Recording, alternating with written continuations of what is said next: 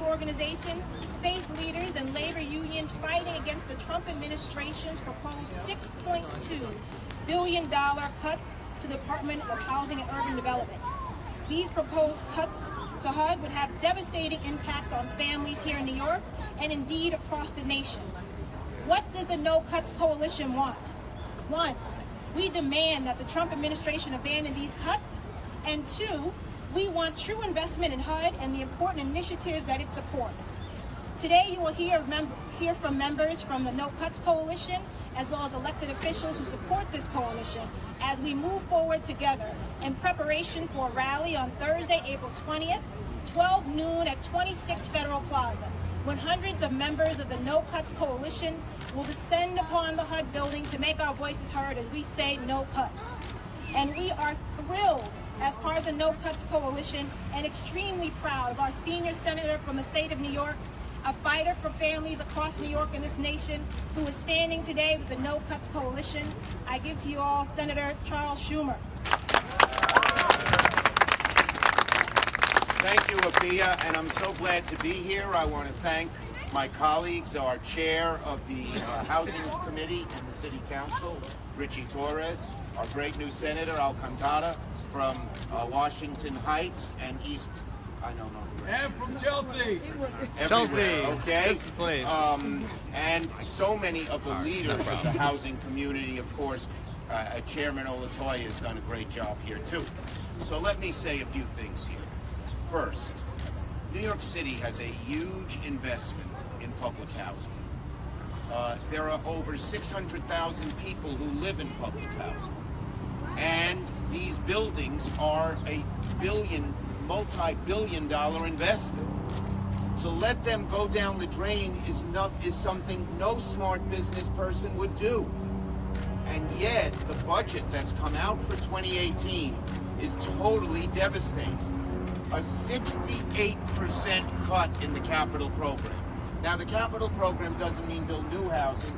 It means when a roof is leaking or a boiler is gone, they can fix it and put a new boiler in. What businessman, what property owner, including the president, would let their property deteriorate. Well, the federal government, since the 30s, since the Franklin D. Roosevelt, has built public housing, and under presidents Democrat and Republican has realized that maintaining that housing, both in terms of capital and operating costs, is a wise investment. But this administration has done cuts to housing like we have never, ever seen. You also have cuts in the Section 8 program which allows people to find a place to live in private housing. You have cuts across the board. The home program, upstate New York, home program, CDBG is all they have to keep the housing up there. And it would be gone. They eliminate those programs. So I've never seen cuts like this before, and they make no sense from a humane point of view, all the people who live here, but from a financial point of view because we have this investment in public housing. So I am going to do everything I can to prevent any of these cuts from being implemented in 20 in the 2018 budget.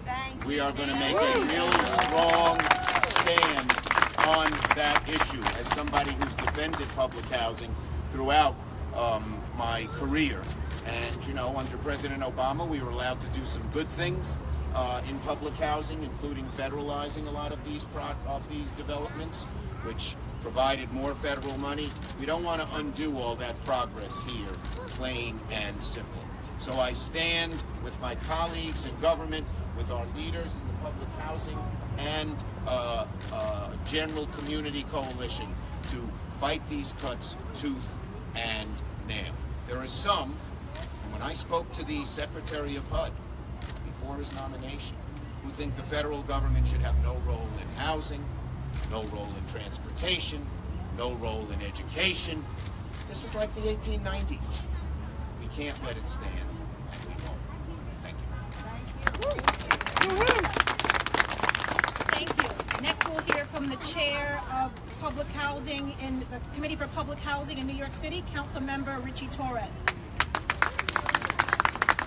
It's an honor to be here with everyone, but especially Senator Schumer, I'm sure we could all agree that public housing has no greater friend than Senator Schumer. So thank you. My mother lives in public housing. I grew up in public housing. Thank you for everything you've done. I'm part of the legacy that you, you, you continue uh, to preserve. Um, as many of you know, uh, Ben Carson recently got stuck in an elevator. Yes. And I'm convinced it's divine intervention. Right. It was meant to send a message that housing is infrastructure, and when you neglect infrastructure, you get stuck in elevators. But for us, affordable housing is about more than brick and mortar. It's about preserving opportunity. It's about preserving the possibility that a kid from the Bronx can grow up to become the youngest elected official in New York City. And we know that there can be no American dream without affordable housing. Right? There can be no land of opportunity here in New York City without affordability. And the greatest contribution that the federal government makes to New York City is the role that it plays, directly and indirectly, in housing millions of people. Right? Every major funding source for affordable housing, whether it be public housing, or Section 8, or the low-income housing tax credit, or the home program, or CDBG funding, comes from the federal government. Right? The New York City Housing Authority is primarily dependent on federal funding. It manages public housing and Section 8. And without NYCHA, without Section 8 and public housing, New York City would be unlivable and unaffordable to the poorest New Yorkers. And so I'm here to say I am grateful to Senator Schumer for everything you've done, but we owe you more than our gratitude. We owe you our partnership. And we are going to stand right behind you in the struggle to resist Donald Trump and his right-wing assault on the social safety net. The leadership of Chuck Schumer is the most powerful force that stands between New York City and the worst of the Donald Trump presidency. And I'm putting my bet on Chuck Schumer. And now we have Chair of the New York City Housing Authority, Nishola Olatoye. Thank you. Good morning. Uh, I want to thank uh, the members of the No Cuts Coalition for their work and leadership on this. I too want to thank our senior senator, Senator Chuck Schumer, who not only has been uh, a, voice here in New York about the importance of public housing, but truly in his role as a national voice. And we are so thrilled to have him here today and to who continues to speak eloquently about these issues here, but also across the country. I want to thank my colleagues in the City Council, Chair Richie Torres, Senator Alejandra, uh, and I think City, City Council member uh, uh, Corey Johnson as well. Um, so we have been a quintessential part of this city for 83 years.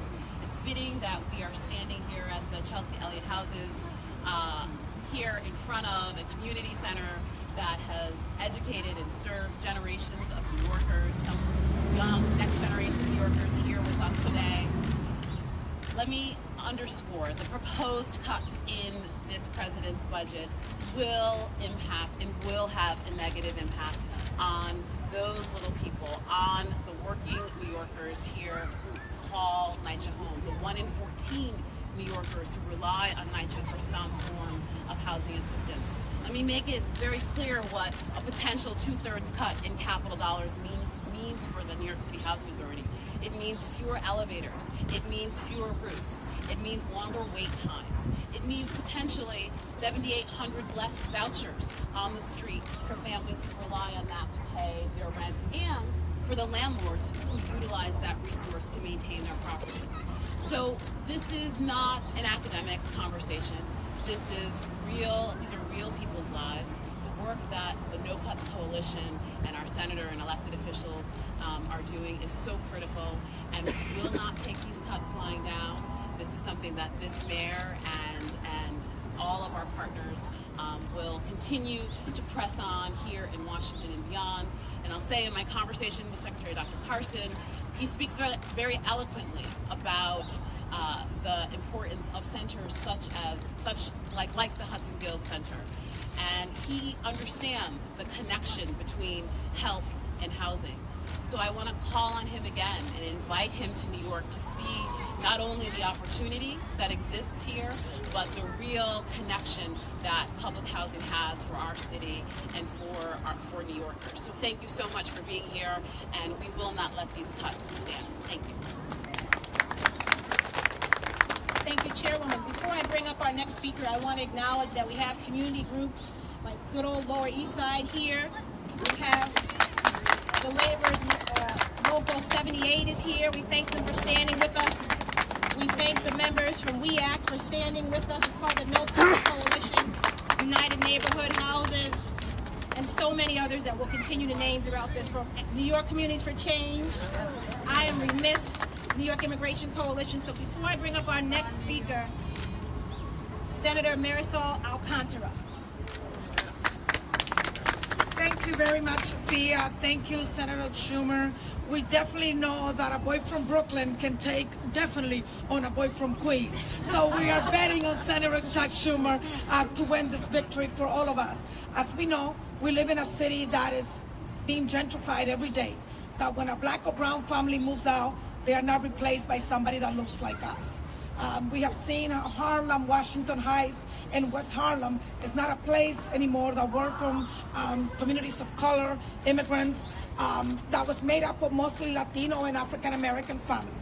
And NYCHA is the last place where you have poor working class and people of color that live in the city. And NYCHA residents all right now live under horrible conditions, as we know. There are some places in NYCHA residents where you have leaking roofs, where there's crime, uh, rats, and all kinds of trouble. And with President Trump proposed cuts, NYCHA will be worse than it is right now. We are all fighting to work with NYCHA so NYCHA can be a decent place where families can raise their kids, where, old, where people can grow old. And we are here to say that we are not going to stand for any cuts to NYCHA. We are not going to let Trump take our kids our families out of New York City. That New York belongs to everybody. And that this right here, I saw my men speak from the New York Immigration Coalition running here. And I said, this is New York, where you have people from all different backgrounds, all different ethnic groups sitting here saying that we are not going to take any more abuse and we're not going to take any cuts from NYCHA. What we need to do is put more money in NYCHA, not cut money from NYCHA. NYCHA residents deserve better. And thank you to all the NYCHA members that are here that even though you live on the some of these buildings are under subhuman conditions you are still here fighting. And you guys are organized come out in the street and you defend your right to be treated as a human being and to live in the city. A lot of the NYCHA residents were the people that were in New York when nobody wanted to be in New York and now that New York is cool and everybody wants to be in New York, they want to kick us out. And we want to let everybody know that we're not going anywhere, that this is our city and that we have a right to be here. Quiero darle las gracias a todos los grupos comunitarios que están aquí, principalmente a los residentes de Naicha que han vivido en esta ciudad cuando nadie ha querido estar aquí y ahora nos quieren sacar. Le queremos mandar un mensaje al presidente Trump, a Ben Carson, que esta es nuestra ciudad que nosotros no nos vamos y que vamos a pelear para que Naicha se mantenga viva y un lugar digno donde las personas puedan criar su familia. Muchas gracias y hasta la victoria.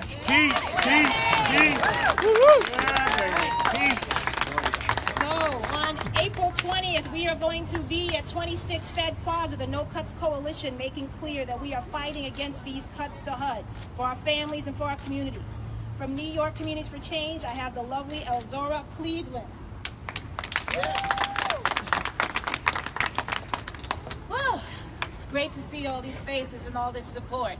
My name is Elzora Cleveland. I'm a community leader organizer with New York Communities for Change and a very, very good friend for Community Voices Heard. Uh, I have to thank our senator, our city council members, our HUD members, and all the resident leaderships that we have here today with us. This is a significant standing place, if you know, a home of Whoopi Goldberg, an area where she started. But here, just behind you in this building above us, is our senior center. This is where our seniors stay, just above the Hudson Guild. This is where generations and generations of children, this place, the play area behind here, I played in this play yard. I've worked in the Hudson Guild. My mother moved into the Elliott houses in 1968, and she is still here. And we have raised generations of our children in, up, and out of the community to develop communities of their own and strengthen what the communities have. I just want to stick to some really quick talking points that I noted for myself. I want to make sure you don't miss. Um, the threat to cut $16 million in shelter funding. Could you imagine the effect that that would have in all of us around the country? Could you imagine the effect in New York City? We are struggling with homelessness today.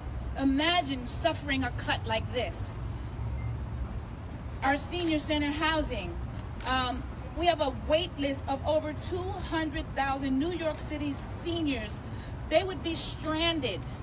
Um, and we would undermine maintenance of the ex- existing senior housing centers like this one above the Hudson Guild. We are so proud to have these leaders and these community members stand behind us in advocating to make sure that we get things done right here. But we need everyone's support. And so please, please be, make sure that you're at 26 Federal Plaza on April 20th at 12 noon. New Yorkers, we're calling on you. This is the time to stand up. The budget is not finalized.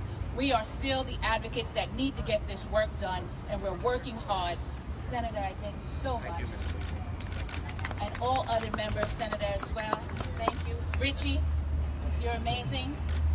We look forward to seeing you. I'll be there. Thank you. From good old Lower East Side, we have David Braswell. Thank you.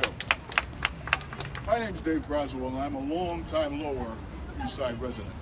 I've been living in Jacob Riis for 63 years. Okay, and as a resident and as a member of GOLES, this is uh, this budget is shows deterrent, a deterrent to the uh, housing, the NYCHA, with already a $17 backlog in capital improvements. The budget means residents will never see repairs such as elevators, crumbling facades, plum, plum, plumbing, excuse me, plumbing, plumbing, and um, to, and toxic mold. Okay, I've seen this. I've seen this deteriorate for the past ten years, and as a resident, any remaining public housing will be destroyed. We stand here today to fight these cuts. We stand here today. I'd like to thank our public officials and the people coming to this particular event. You need to be there. This is your house. This is your place. This is New York City. It doesn't belong to the federal government. It belongs to us.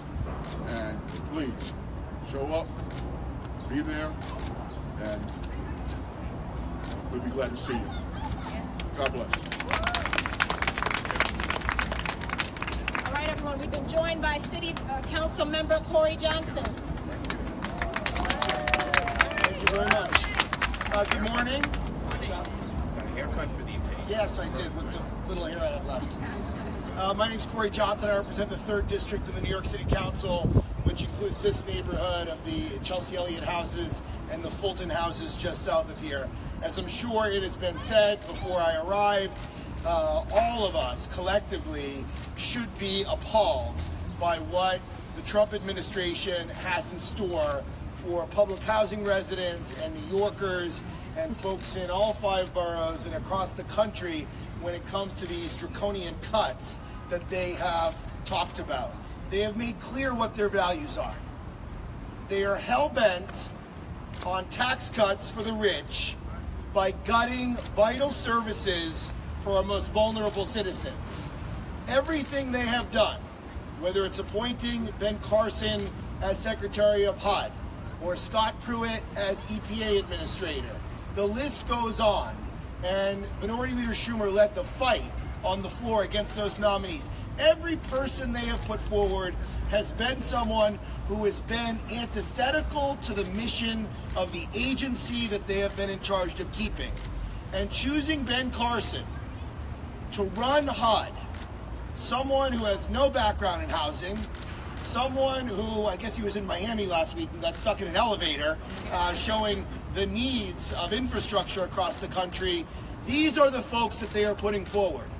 And thank God we have Chuck Schumer uh, leading the fight and Senator Gillibrand leading the fight and members of the House uh, congressional delegation uh, from New York leading the fight against these horrible cuts. Uh, the list goes on, but I will say the, the there's cognitive dissonance between the president's budget, which he released, and what he actually says, which is not surprising. He talks about infrastructure. He guts the Gateway Tunnel project, which is vital for the region. He talks about infrastructure. He guts the Second Avenue uh, subway. He talks about infrastructure. He's gutting money for public housing and vital public projects across the country. It doesn't make any sense. His rhetoric doesn't mean anything.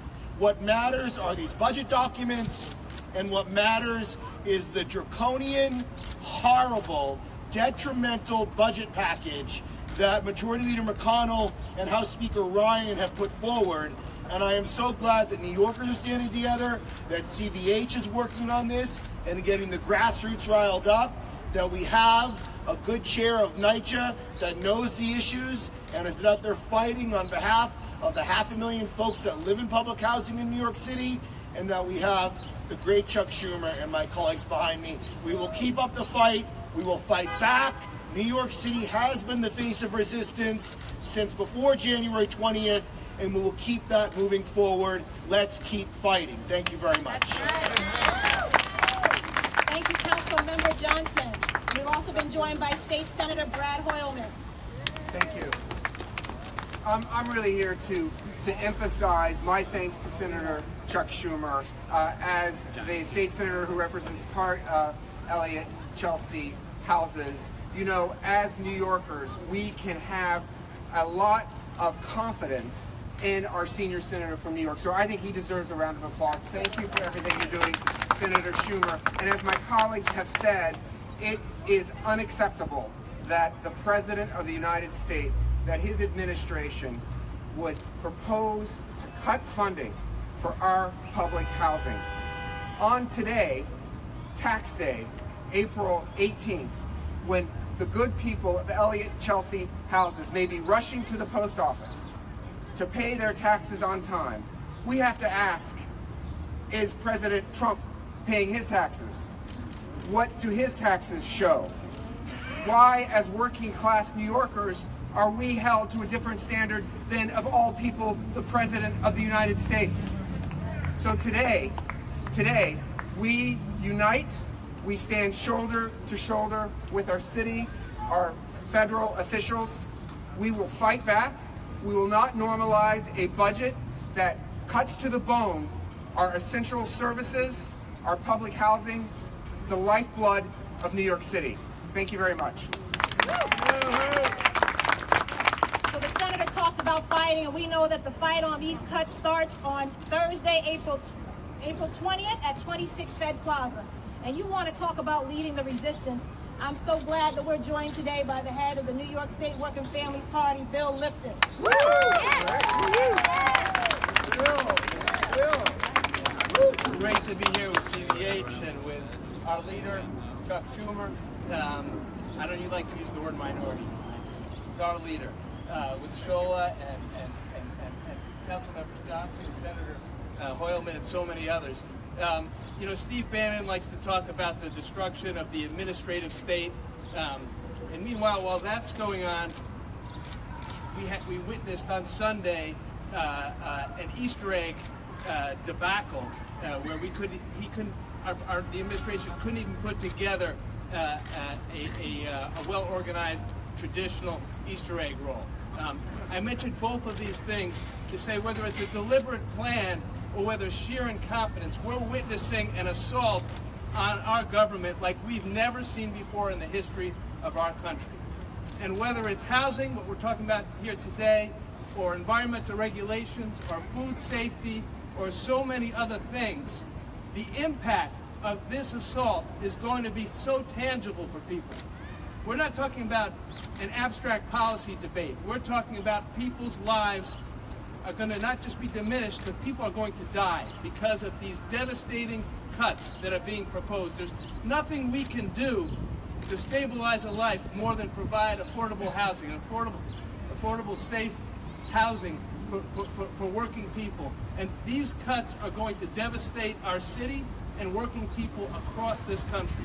Uh, we're going to fight them like we fought against health care with the senator's leadership and, and help. We're going to fight uh, uh, these th- this phony tax plan. We're going to fight to make sure that we get to see what's in these tax returns that the president has, and we're going to we're going to and we're going to. I, I believe we're going to win. The healthcare thing was uh, a, the healthcare victory was an incredible victory, and I think there's more where that came from if we stand united and we fight back. Thank you. All right, we have two more for you guys. To speak to the issues that are going to be affecting rent stabilized tenants, we have Barika Williams for the ANHD. Hi everyone, uh, my name is Barika Williams. I'm the Deputy Director at the Association for Neighborhood and Housing Development, where we work to create, preserve, and protect affordable housing and economic opportunity for low-income New Yorkers across all boroughs. We work with so many of the groups that are here today, our 100 members across the city who are local neighborhood-based groups. Um, and it's important when we're talking about all of this to realize and to think about this is about our homes. This is about our neighbors' homes. This is not just a NYCHA issue. This is not just a Section 8 issue. This is going to affect all of us, every single New Yorker. This compromises um, HPD's ability to do code enforcement. What happens when buildings start crumbling on the block, right? This is this will gut our entire code enforcement budget. This compromises our ability to create home ownership opportunities for low and moderate income New Yorkers across the city. Um, it also will impact things like our ability to respond in a future storm. Most of our Sandy recovery money came from CDBG dollars, right? How are we going to be able to respond to the next environmental disaster if we don't have something like CDBG at our at our hands, right? This is why is what Senator Schumer has been committed to for decades. Um, he has been our anchor um, and our advocate as affordable housing providers, tenant rights, tenant leaders, economic opportunity, thinking about jobs. Um, we thank him for being a partner and being committed in this. And the cross section of this is, is clear in who is here environmental groups, affordable housing developers, tenants' rights groups. We've got labor, we've got unions, right? We all know that this is about all of us. It's about where we come home to every single day. So we urge ANHD, all of our groups urge every single New Yorker, homeowner, tenant, renter, NYCHA resident, Section 8 holder, everybody should understand that this is about all of us. And we expect to see as many New Yorkers as possible out at the No Cuts rally on April 20th. Thank you.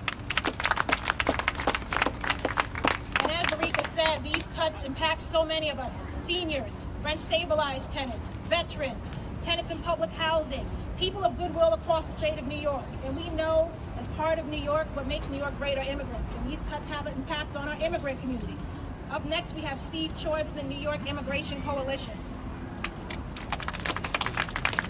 Good afternoon, everybody. Good afternoon. Are you ready to say no cuts? No cuts. Are you ready to say no cuts? No cuts. When I say no, you say cuts. No. Cuts. No. Cuts. No. Cuts. No. Cuts. Good afternoon, everybody. My name is Steve Choi. I am so proud to be here on behalf of the New York Immigration Coalition. And I want to thank Community Voices Heard because they have been on the front lines of the immigration fight, saying no ban, no wall, and no raids. And so we are thankful to be here today, standing shoulder to shoulder with CVH to say no cuts. I also want to thank Senator Schumer. When we brought out 30,000 people to Battery Park to protest the Trump administration's immoral Muslim and refugee ban, Senator Schumer was there. And so he stands on the side of the people. Right now, he is playing a leadership role in the budget negotiations, saying there will be no wall. And we need him. We look to him for his continued leadership to say no cuts. Brothers and sisters, we are here today because an attack against one is an attack against all. We understand that when the Trump administration targets public housing, he is targeting New York City.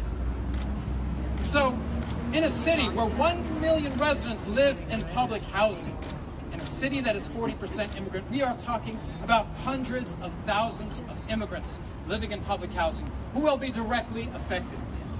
And you've heard all that is going to happen if these cuts happen. You've heard about the fact that thousands of people may become homeless, that hundreds of thousands of people will suffer from what my brother David talked about the stopped up toilets, the mold, the roaches, the rats and the roaches and the mice. All of these things are situations that cry out for more investment, for more money, for more resources. But this Trump administration is trying to cut that. And we know why, because this is part of the Trump administration's agenda to target public housing residents, to target immigrants, to target minorities and communities of color. Are we going to let that happen? No. Are we going to let that happen? No. Are we going to fight back? Yes. Are we going to resist? Yes. Are we going to rise up against this agenda? Yes. The New York Immigration Coalition is proud to stand together with all our allies. We will continue to fight on April 20th. We will to continue to fight on May 1st, joining with so many others, hundreds of thousands across this country, to push back against the Trump administration's agenda. And we will not stop until justice is served. Thank you. Thank you all for coming out here today. We expect to see you on Thursday, April 20th, 12 noon at 26 Federal Plaza. Any questions, folks? Yeah, uh, Senator. Questions? Yes, please. Thank you. Uh, Senator, today's today's tax day. Um, there's been a lot of discussion about tax returns. I just wanted to get your thoughts, um, if you could elaborate on some of the comments you've made regarding whether uh, the president's refusal to Yes. release his tax returns will complicate your negotiations going forward on tax reform. Yeah, well, look, the president, by not releasing his tax returns, makes tax reform even harder. Because every time he proposes something, people are going to say, is he doing it for our benefit or for his own benefit? And so I have said, if he wants to pass tax reform, one of the first things he should do is release his tax returns. Even if he doesn't want to pass tax reform, he should release his tax returns. It is not fair. When you're president of the United States, you're no longer just a private citizen. And there are certain rules that should govern. And one of those should be openness. When the president said he was going to drain the swamp, by not releasing his tax returns, by not making public who visits, who comes to the White House, by not releasing, by not making public waivers, he's making the swamp even dirtier and thicker.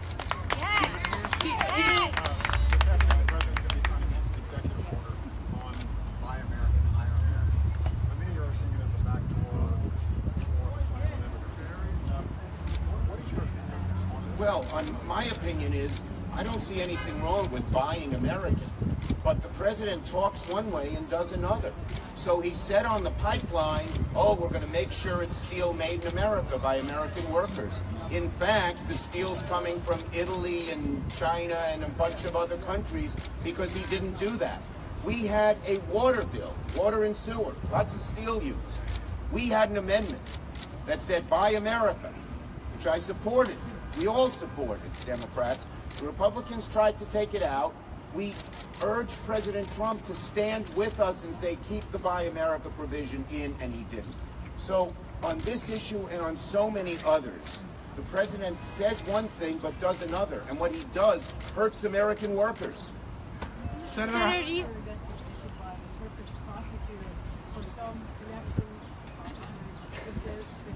Yeah, what the,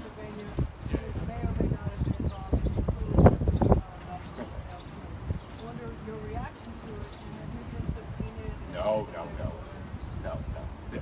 Let me just say this. Um, I led a letter to the Turkish president saying, give freedom of press to journalists. Stop arresting journalists who are no lo- who don't like you. That's why they're angry at me. I'm proud they are. Senator, how concerned are you about North Korea? Senator?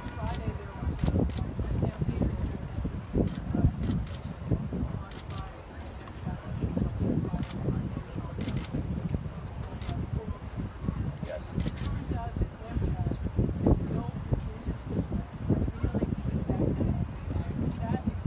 No. You know, these days in a post-terrorism world, we need places where large amounts of people gather, whether it be Penn Station or at our airports where there was an incident a few months ago. We need contingency plans immediately so that people don't panic. When people panic, they create a danger in themselves, even if there's no terrorism. Come up with a contingency plan as to what's going to happen when there's a panic? How, where are the officers? How are they going to control it? Yes, yes. I have it on topic. Senator, in the on topic, please. I have it on topic. Senator, in the absence, in the absence of federal funding, do you think that the De Blasio and Cuomo administration should be contributing or allocating more money to NYCHA? Well, look, I mean, the bottom line is that I've always been for strong support for NYCHA at every level of government. But our number one job right now is to fight the federal government cuts. Plain and simple. I have never seen cuts like this. They are devastating. Everyone's concerned about homelessness.